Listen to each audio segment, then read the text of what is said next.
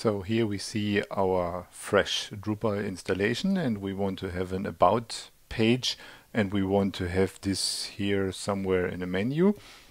So we click on add new content and then you see the appearance of the administration interface. It is a layer technique and in core Drupal, we have two content types. One is an article for time sensitive content, and one is a basic page for static content.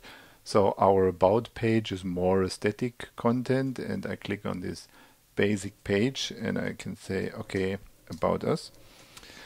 And you see, oops, there is no, what you see is what you get editor here so it is a bit hard to uh, to insert the text. The what you see is what you get. Editor didn't made it into core, so it's possible to add a module to have it, but in core it is not.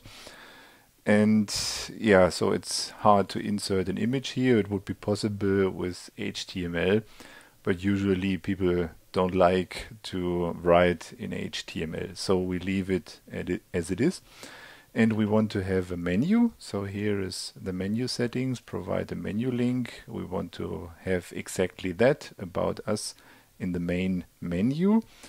And maybe here comment settings. We don't want to have comments on a basic page. It is default. Yeah that's all. So when I click save I have my about us page. Here it is.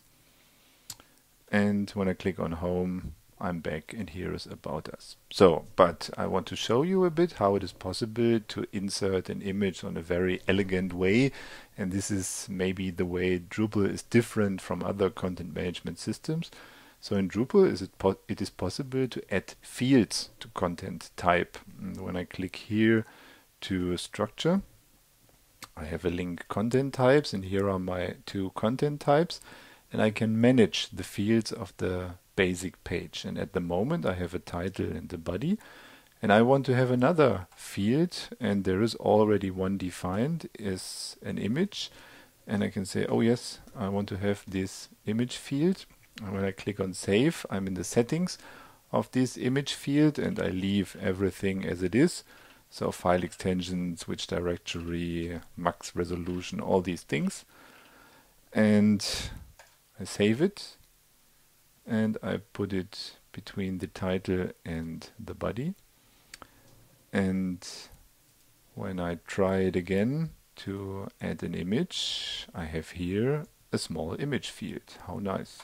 And I browse this and now here I have a bigger picture. It's 1024 pixels.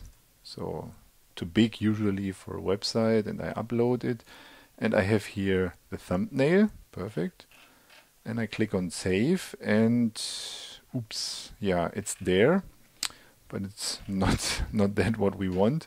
So it's a little bit too big. And here's also the label image. But we can change this again in structure content types. And here on the right side it is possible to manage the display of these images. And at the moment the image has a label. We don't want a label.